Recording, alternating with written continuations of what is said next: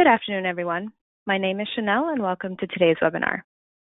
Today, we're pleased to introduce internationally recognized expert in integrative medicine, Dr. Andrew Heyman, and founder of Four Directions Wellness, Mara Benner.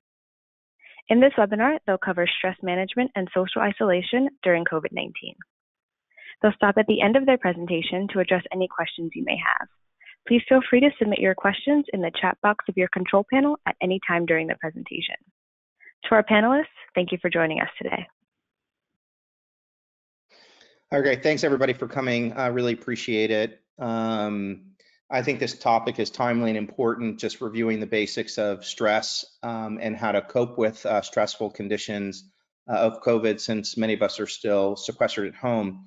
Um, I would like to take a moment though and um, re-announce uh, the establishment of a, of a relationship between George Washington University uh, and A4M once again in partnership around our master's degree program in integrative medicine. Uh, for those of you who haven't heard, uh, we now have a Master's of Science in Health Sciences through the Department of Health Sciences at George Washington University um, in integrative medicine. And it's a 36 credit hour, uh, fully online graduate degree program uh, that um, confers a, a master's degree um, in health sciences. Um, for the physicians uh, that are interested, it's one of the only routes now available uh, to be able to become board eligible for the new American Board of um, Integrative Medicine through the American Board of Physician Specialties. This is a real innovation in the field uh, insofar as uh, it offers for the first time uh, credentialing through um, an American recognized board. And uh, right now, there's only a few programs that qualify uh, to become board eligible, and even fewer that are online, uh, let alone end with a master's degree. We're really the only one in that regard. Uh, to that end, uh, we're reestablishing this relationship with A4M because uh, GW values the education that's offered and understands that it's of a very high caliber, quite evidence-based and academically oriented. So for those individuals that have either registered or completed five MMI fellowship modules, um, you can receive a 10% tuition discount uh, for the master's degree program. We only have 10 slots uh, for this uh, tuition discount for the fall, and I think we've already filled almost half of them. So if there's anybody listening that is interested in completing a master's and ultimately sitting for the um, Board of Integrative Medicine, this is really probably the best route uh, for you and uh, certainly nice to get a pretty significant tuition discount. Uh, if you're interested, please contact uh, Liz Wheeler. Uh, this is her email and phone number. Uh, she will get you organized and uh, moving in the GW direction should you have an interest in completing the master's degree. So I'm very excited about that relationship. I think it's really special and important that we have it. So uh, today's topic is uh, reviewing some aspects of stress. I think we all experience it and we experience it in different ways. Um, today, I'll speak briefly about its impact on the body, um, where it typically finds itself in terms of a physiologic response, and then some um, key interventions on what to do about it. And then the next half of the session today will be offered by Mara Benner, um, who uh, is from Four Directions Wellness and also uh, connected to the George Washington University too. Um, so, you know, I like this quote because I feel like stress is one of these sort of summary uh, concepts that invokes sort of that mind body spirit connection. Uh, within the body itself, it ends up being a very complex set of uh, bodily reactions um, and we're still learning about the details and intricacy by which uh, the body sort of arranges itself around stress at every level, uh, from the organ and tissue all the way down to the cellular and subcellular, cellular, uh, genetic, genomic, and epigenetic. Um, so I like this quote because it tends to encapsulate uh, this notion of as we put these pieces together, we're getting closer and closer to truth.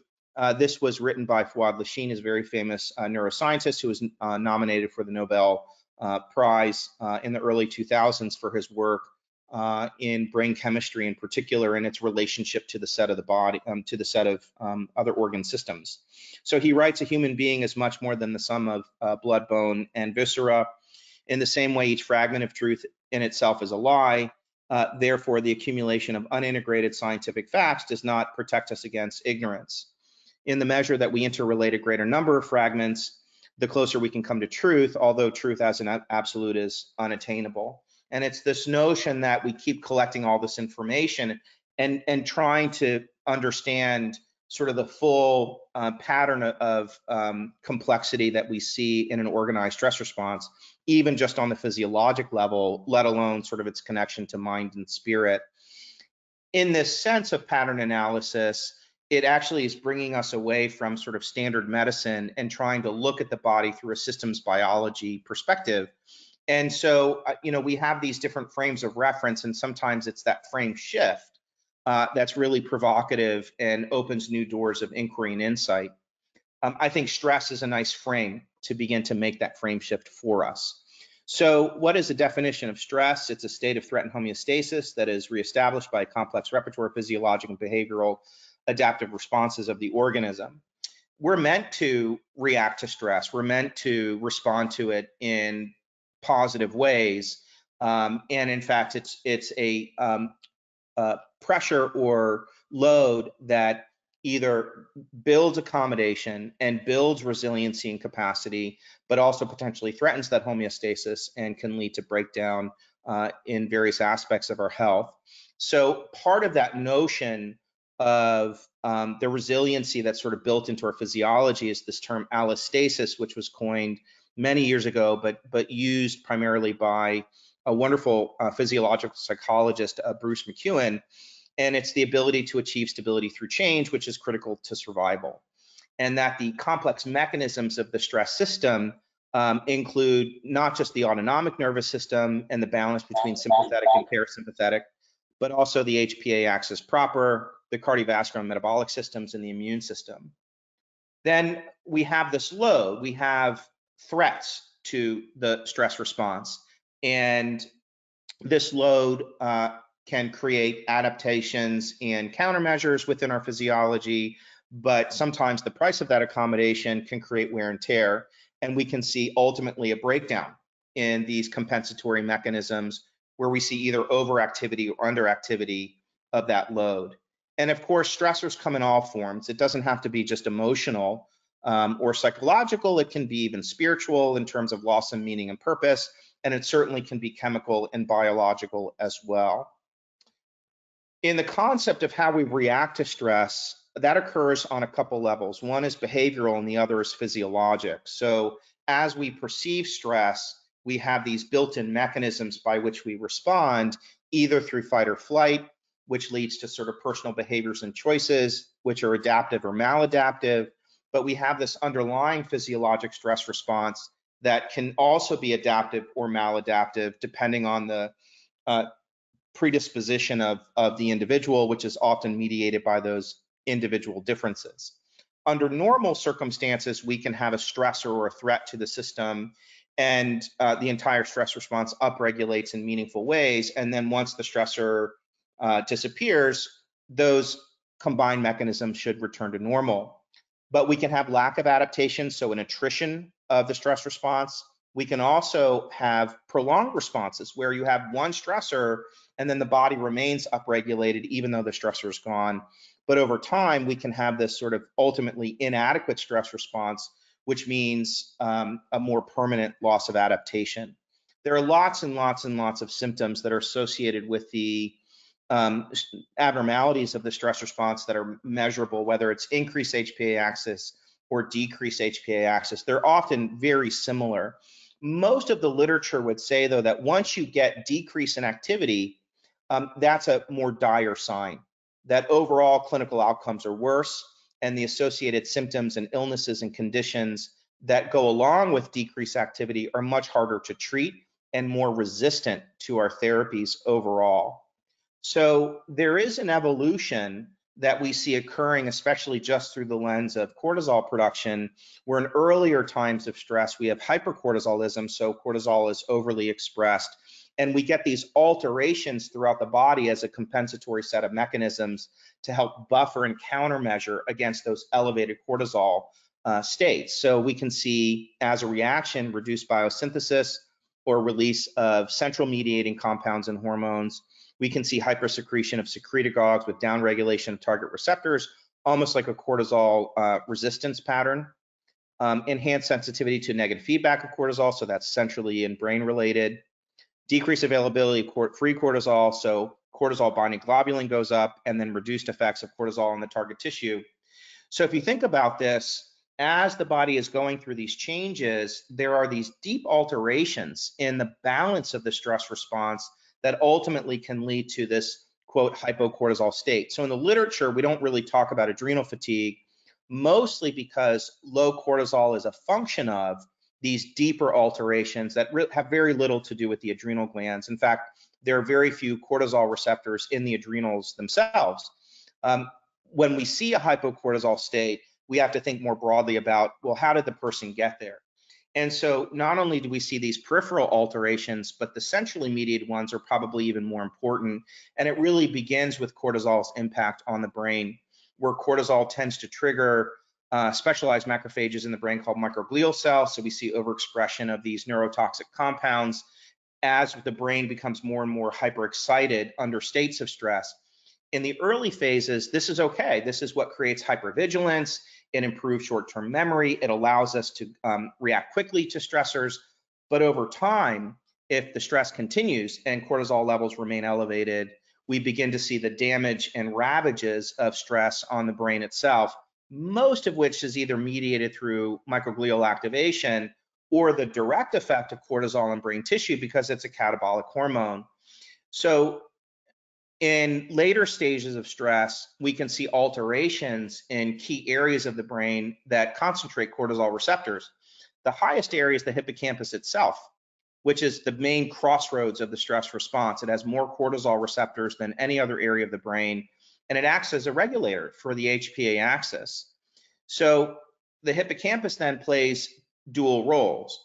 It is important for consolidating short-term memory and assigning emotions to memory, but it also, on a more physiologic level, acts as the brake to the stress response. So as the hippocampus becomes excited under high states of cortisol, it helps to downregulate HPA activity.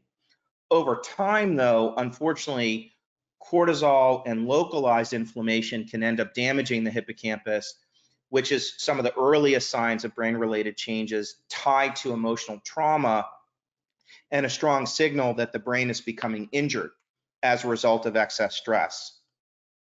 What happens then as a result of the repeated effects of stress on the brain is we begin to see alterations in both structure and function, not just of the hippocampus, but also of the prefrontal cortex, the amygdala, the locus coeruleus. Over time, we see nuclear atrophy or volume loss in the hippocampus in particular, which we know has been associated with PTSD, atypical or treatment resistant depression, uh, and Cushing syndrome. This is all typically led by high concentrations of cortisol and activation of those NMDA receptors by glutamate, so you have high neuroexcitation. And as a result, phenotypically, individuals tend to report um, loss of verbal memory and mem um, uh, re recall of, of uh, important memories, as well as loss of regulation of the HPA axis itself. Ultimately, over time, the brain says enough is enough, and it begins to turn down the HPA axis. This is one of the last ditch efforts that the brain has to protect itself and the rest of the body from ongoing stress. So interestingly, it's actually a positive adaptation. So when we see alterations and hypoactivity in the stress response, it's a signal that the body and brain has become overwhelmed and that we have to um, not only appreciate the, the magnitude of that phenomenon, but also think more clearly about, well, how do we intervene? So we know that um, stress can basically accelerate aging um, at every level of the body. And it's important for us to intervene appropriately, but where to intervene. And, you know, from, from a clinical model, I think in terms of the system biology perspective of beginning to knit together what are the areas that are participatory in the stress response and where are the vulnerabilities? Well, ultimately, it's a brain on fire phenomenon with a risk of neurodegeneration and structural changes. And so the question becomes, well, how do we stall the stress response and protect it? And how do we encourage uh, the brain to heal? At the same time that this is occurring, stress has a big impact on the immune system. So we know when cortisol levels are high, the immune system tends to be suppressed. Over time, if cortisol levels are suppressed, if the body is in this hypocortisol state, it releases the immune system, and we know individuals have a higher baseline level of inflammation, which is even worse for outcomes. So we have two areas of physiology that tend to change in very meaningful ways under times of stress. We can see these brain related changes both in function and structure, and we can see alterations in immune activity. If cortisol is suppressed and the immune system is released, we can see a higher predisposition to autoimmune diseases, a higher risk for cancer and worse outcomes in cancer, and a higher risk of diseases associated with chronic inflammation. So a lack of adaptation and a, a hypocortisol state is ultimately and potentially a disaster for the patient. And the model then becomes as cortisol levels fall, systemic inflammation levels rise. We know that there's excess microglial activation in the brain. This also leads to serotonin degradation, especially in the digestive tract, and patients begin to report non-specific symptoms of sickness, which is fatigue, uh, lack of coping to new stressors, uh, and often pain-related syndromes. So how do we know that this is occurring?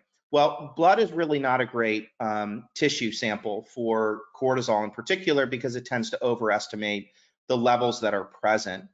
Saliva is a much better tool. It's non-invasive, it's stress-free, um, it's quite reliable, and we can also see the full pattern of cortisol production over the course of a day. There are normal patterns and there are abnormal patterns. So a normal pattern of cortisol production is high in the morning and lower throughout the rest of the day, unless there's a stressor and then cortisol levels go up. When a person is under high states of stress, we can see elevated cortisol with flattening of the response over the course of a day. Um, this is hypervigilance. It's uh, typical depression, it's treatment sensitive depression, it's suppression of the immune system, but the patient by definition is now also in a catabolic state.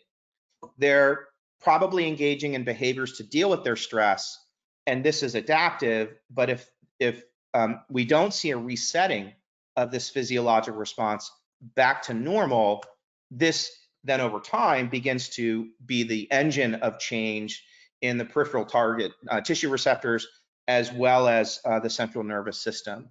When we begin to see mixed patterns of cortisol production, we begin to infer that those alterations are beginning to take hold, usually functional changes in the hippocampus, upregulation of cortisol binding globulin, disposition of cortisol uh, through peripheral mechanisms as well. And ultimately, we can see flattening of the cortisol curve, which is sort of the worst version, the worst form uh, both symptomatically, phenotypically, and also for clinical outcomes. We know that individuals who have concurrent illness and hypocortisol states have the worst outcomes. So whether it's a breast cancer patient, a cardiovascular patient, a diabetes patient, a depressed patient, they tend to respond less to uh, biological therapies. And also they have worse outcomes overall compared to uh, patients that also have the same disease, but no flattening of the cortisol curve. So how do we deal with this? How do we protect the brain? How do we offer um, therapeutic interventions that are meaningful on the biological level? Well, when cortisol levels are elevated, I tend to like magnolia and phellodendron. This is a very reliable combination of botanicals, which has specifically been shown in multiple human trials uh, to normalize high cortisol and raise low DHEA and the typical dose is one capsule uh, three times a day. Uh, many of you probably also like theanine. Theanine is a green tea extract. Um, it has very nice anti-anxiety effects. It's an analog of glutamate. It's protective against the neuroexcitatory effects of, uh, of both glutamate um, and it stabilizes the NMDA bridges uh, to prevent calcium influx into the neuron. It also directly reduces norepi levels and therefore blood pressure and it even blocks the effects of caffeine. Plus, theanine is um, actually quite reliable. Andy, you are off. So, in addition to that, um, I like um, uh, dosing between two and 400 milligrams, uh, two to three times a day, um, and up to 1200 milligrams of theanine itself. Uh, finally, to get a little more fancy, when you think about the herbal adaptogens uh, that have been used for centuries for stress, ginseng, ashwagandha, rhodiola, what's interesting about all of them is that they're quite unique in that, yes, they buffer the stress response, but they do that very specifically through protecting the brain. When you look at where the ginsengs of the world really operate, it's in the central nervous system and they help to reduce neuroexcitation, they reduce neuroinflammation, they help to reset the stress response. No wonder this category of botanicals was considered so special in just about every herbal tradition around the world. Now we're getting relatively fancy in understanding, well, what are the components of these herbs that are even more neuroprotective? And out of Chinese ginseng, uh, the School of Pharmacy in Beijing isolated and identified certain ginsenosides that are particularly uh, protective and these are the um, the RG lines. And there's RG1, RG2, RG3, and there's also RB. So there's RB1, RB2, RB3. RG3 in particular seems to be the most neuroprotective of all the ginsenosides because it's quite sedating to microglial activation. It directly reduces inflammation in the brain. It also stabilizes that NMDA receptor, just like theanine does, but in a more potent way. Um, and you can do it either orally or taken as a nasal spray. The nasal spray dose is even more effective. It's two milligrams per ml. Um, and I use this all the time in my patients uh, who have significant stress, neuroinflammatory processes, neurodegeneration, concussion, stroke, any kind of head trauma. It really is almost miraculous in its ability to protect against stressors of all sorts against the brain tissue. And we always combine it with nicotinamide riboside, which is a vitamin B3 derivative that directly raises NAD levels in brain tissue, which helps with the repair process. Now, NAD has been under very high uh, scrutiny and research at Harvard since the early 2000s, and nicotinamide as the direct precursor is really wonderful at raising NAD levels in the brain because it too is so neuroprotective, and I like to call it brain food. You can do nicotinamide riboside orally, to 250 to 500 milligrams daily, or you can do it as a nasal spray as well. And I typically combine them, combine the RG3 and the nicotinamide into a single uh, compound. Finally, I like plant sterolins. We've talked about these before in prior COVID lectures uh, because of their immunomodulating capacity. They help buffer CD4 cells, they balance Th1, Th2, and sort of by definition, when people are under high states of stress, they have immune shifts that have to be occurring. And so I tend to like to add in some immunomodulators like plant sterolins that work on the other side of that stress coin, which is the immune system. And so by adding in some plant sterolins, I can get some nice balancing of CRP, um, IL-6, TNF alpha, and help to correct a Th1, Th2 uh, picture. Uh, so I'll do typically 20 milligrams three times a day for 60 days and then twice a day thereafter. So in conclusion, uh, stress response is tightly integrated with the nervous system, the endocrine, cardiovascular, and immune systems. Flattened cortisol curve may be adaptive despite the metabolic and clinical implications.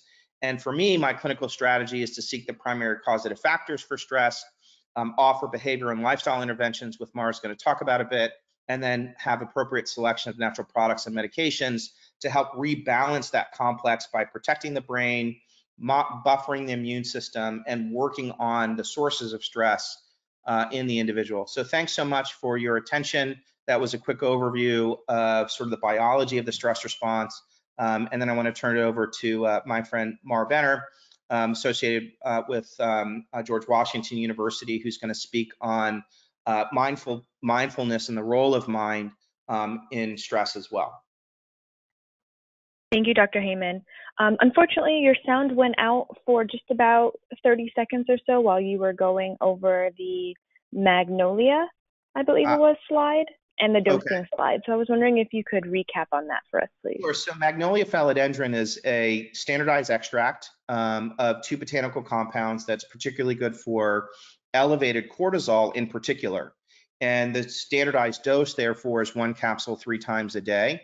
It helps to normalize high cortisol and low DHEA. There's a number of human studies um, on this particular combination, and it works really well uh, in partnership with the theanine. So I think of the Magnolia phellodendron as sort of a natural antidepressant, and the theanine is my natural benzo. Excellent, thank you. Now we're switching gears and we're going to have Mara Benner present.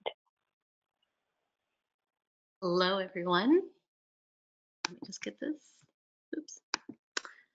Hello, everyone. Thank you, Dr. Heyman, and it's such a um, it's such a pleasure to be with you today. So, um, as Dr. Heyman mentioned, my name is Mara Benner, and I also have the privilege of being the mind, body, spirit practitioner for the GW Center for Integrative Medicine.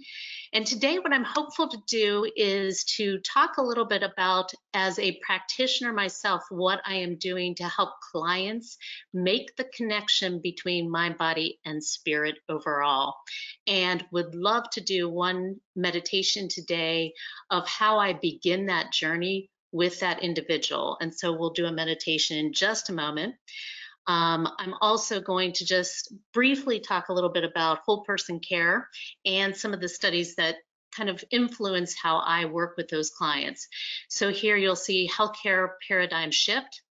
This was a Wall Street Journal article that said in the future, Americans will be healthier because our healthcare system will treat us as whole persons. That is, the artificial separations between physical, behavioral, and mental health care will have disappeared. And this is what I'm really looking at when I'm starting to work with a client, primarily who has a chronic illness or other type of situation where we want to explore at a deeper level what might be happening and to help them resonate with that. And of course, from a spiritual perspective, it may not be religious, but it's about checking in and connecting with them on what their passions or creativity aspects are wanting to be explored as well. But all of these come into the consideration as we work through it. Um, Dr. Heyman talked a lot about stress, but I just want to mention a few things. Obviously, with COVID, we're in a different realm right now. Um, this was a study by the American Psychological Association from 2017, but still resonates with the clients that I'm working with.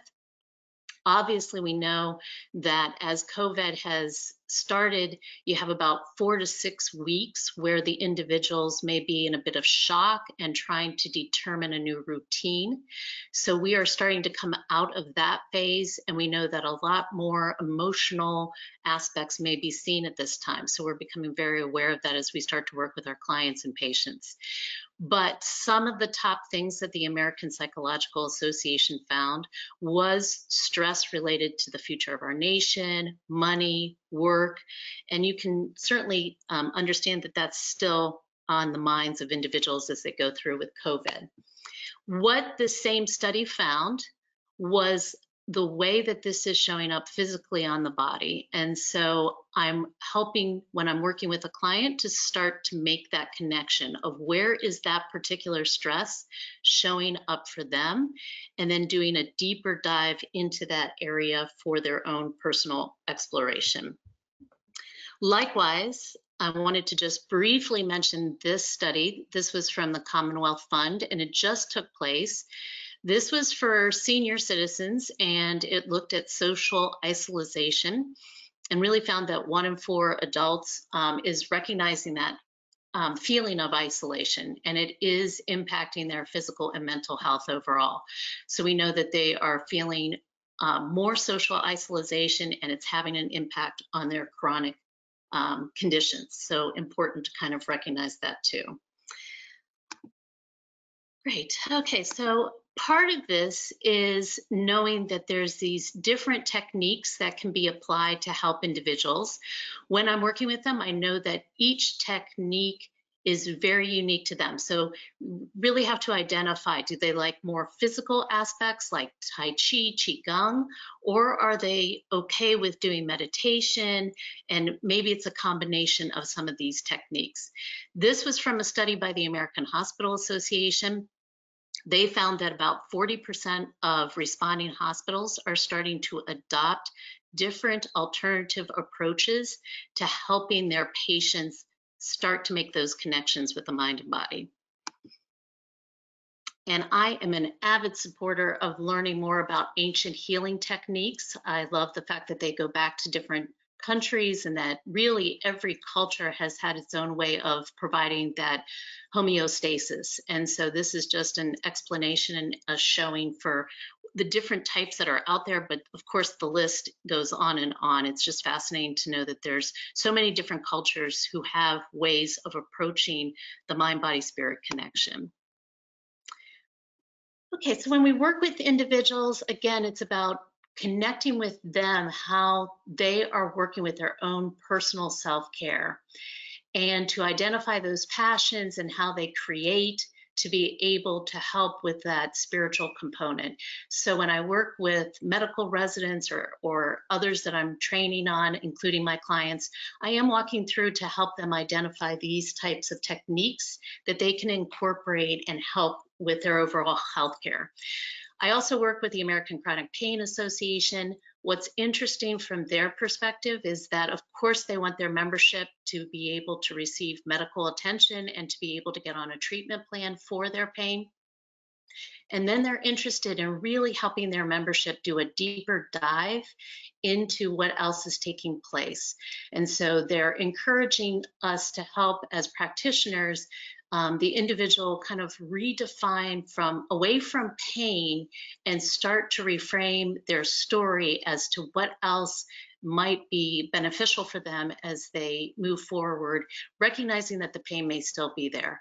So I think there's a lot of the um, uh, Ill, illness or associations related to chronic pain and other chronic illnesses that recognize that they need to be working with their membership to help this exploration as well. And I have several ways of helping and supporting you and also clients with different meditation apps. And the one that most clients love is Insight Timer, and it's down below. But a lot of these are free and able to be used for the exploration. And what I'd like to do now is to help you with your own meditation and to walk us through maybe a 10 to 15 minute meditation to explore this. And this again is like the first layer that we would be doing with a client or a patient. And so what I'd encourage you to do is a couple of things. We're working from home. So if you're able to find a place that's comfortable and to the extent possible, a bit quiet, that would be wonderful. I want to help with that mind, body, spirit, stress reduction kind of connection. So I'd encourage you to think for just a moment before we start this meditation about first uh, your number one stress that you're having in your life, and also identify a second stress. So just take a moment to think about those. And once identified, let's just take a moment to get comfortable. As we start with breathing, we're, I'm going to ask that you take a deep breath in all the way down to your belly. And as you're able, then you're going to be releasing. And we're going to explore both those uh, two stresses that you have. So just come in for a moment, becoming relaxed, comfortable, dedicating this time for yourself. And we start with the breath. So go ahead and take a deep cleansing breath in.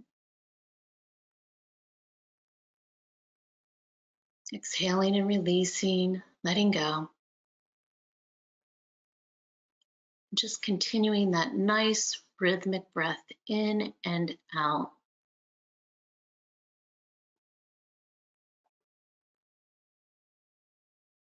The breath is how we come into the present moment, so it helps anchor us in the present.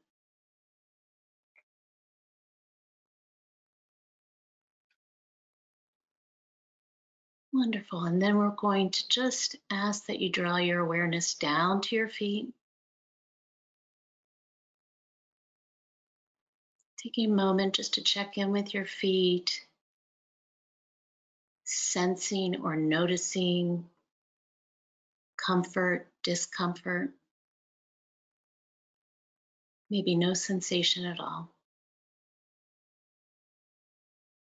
And then go ahead and squeeze the muscles of your feet together and then release, letting go. letting go. And then come up to your shins and your calf. Just checking in here, drawing your awareness.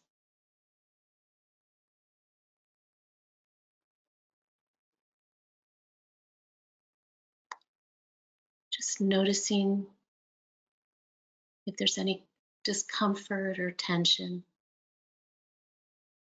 And go ahead and squeeze the muscles of your shins together in the calves and then release, letting go. And come up to your thighs. Checking in with your thighs.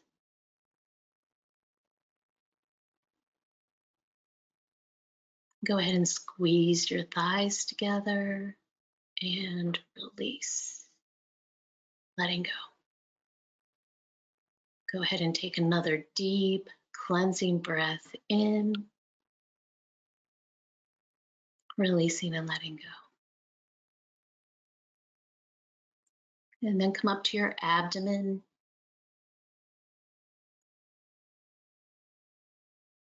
Just checking in with any sensations here. Go ahead and squeeze the muscles of your abdomen together and release, letting go, letting go. And just drawing your awareness up to your shoulders. Sensing or noticing this area.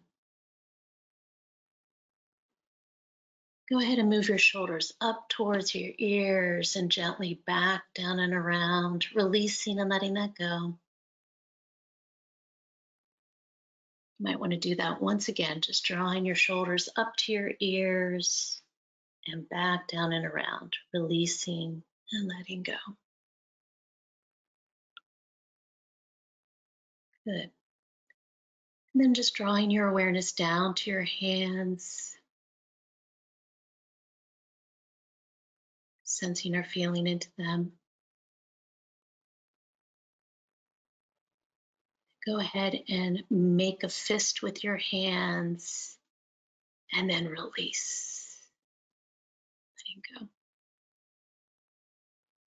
Go ahead and take another deep cleansing breath in, all the way down to your belly if you're able, and then exhale, releasing and letting go. And bring your awareness now up to the jaw. Just checking in with the jaw. And gently moving it to the left and to the right. Releasing and letting go. And then coming up to your forehead. You often hold a lot of attention to in the forehead.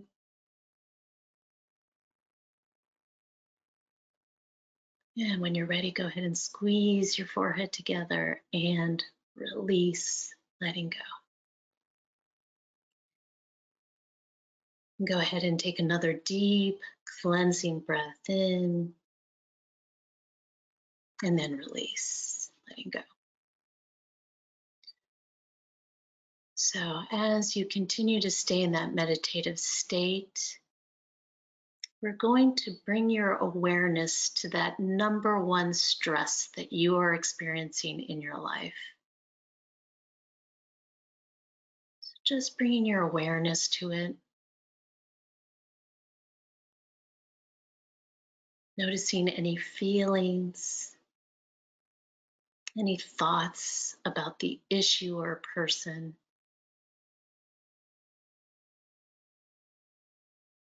And our physical bodies are team players with us. So that stress is sometimes held physically in the body, and our body is asking us just to bring our awareness to that.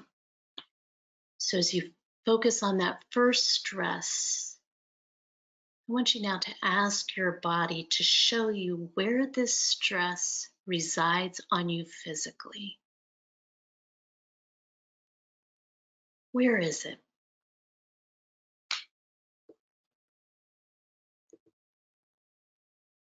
You may notice a sensation, maybe an ache or a pain. And for some people, they simply just know where it's being held on their body. You don't need to second guess, but rather go with the first indication that you receive.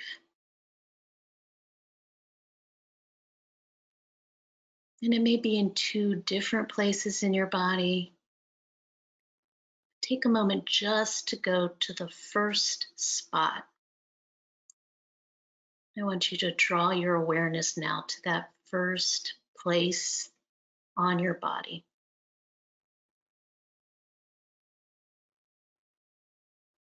Really becoming aware of it.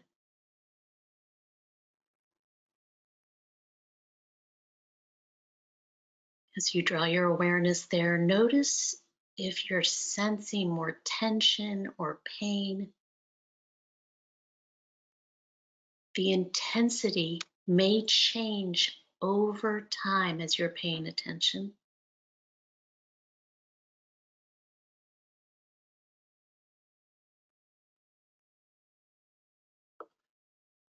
So just sensing or noticing.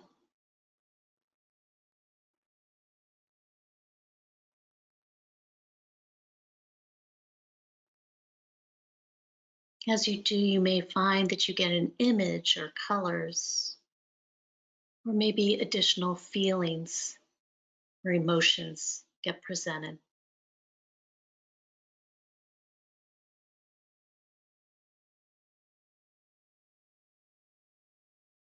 Just become aware. You can just act as a witness as your body provides that information to you.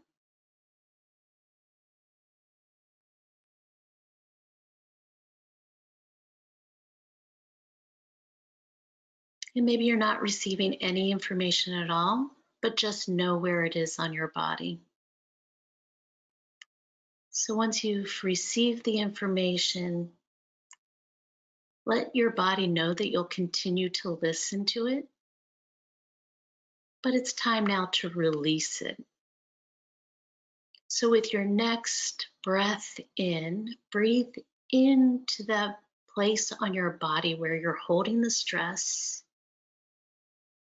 and as you exhale, I want you to envision that you're releasing whatever sensations, whatever came up, just letting it go. You may even see it as a gray mist leaving. And then breathe in again, clean, new energy. And again, releasing and letting go of whatever that stress is. Letting it go.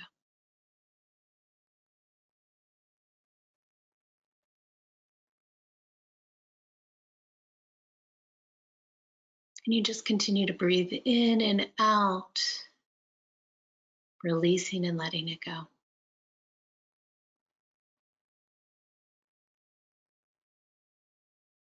And we'll do this once again now. Now that that's been released, Let's now identify that second stress.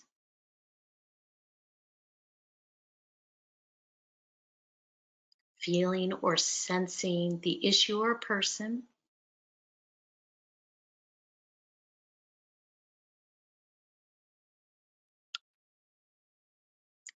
Now asking your physical body to show you where this stress resides on you.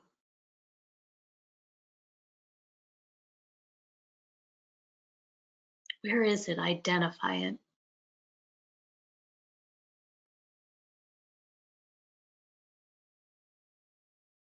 It may be a very subtle sensation.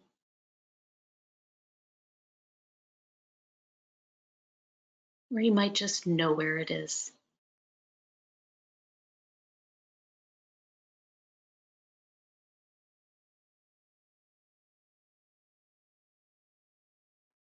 And if you're able to identify it, now go to that particular area on your body.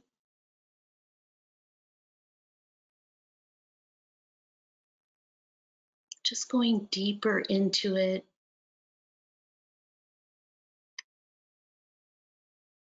Focusing on the sensations.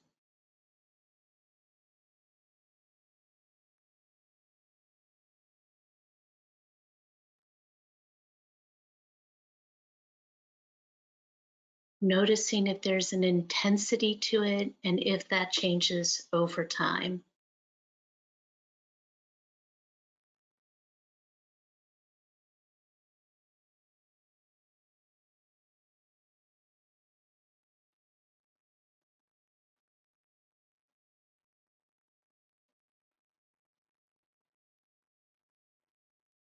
Just become aware of the sensations, the feelings, emotions, maybe images, colors, whatever arrives for you. Just being aware of them.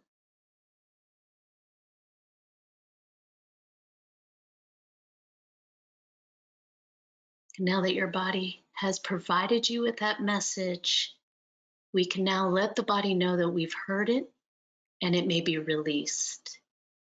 So, with your next breath in, breathing into that part of your body, letting it go with the exhalation, releasing it.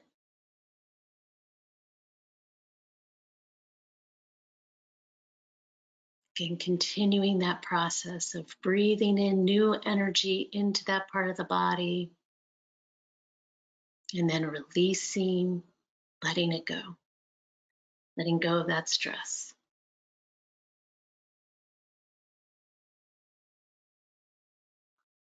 And then just check in with your body one last time just to notice if there's been a change from when we started the meditation.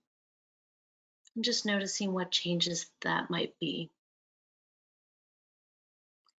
You can come back by wiggling your fingers, wiggling your toes, and gently starting to come back in by opening your eyes.